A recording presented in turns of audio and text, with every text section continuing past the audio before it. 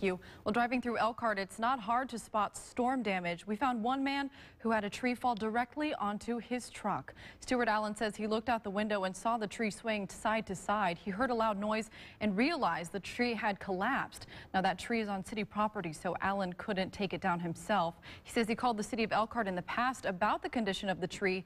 In the end, Allen says the winds took the tree before the city could. But he's just happy that it did not hit their house.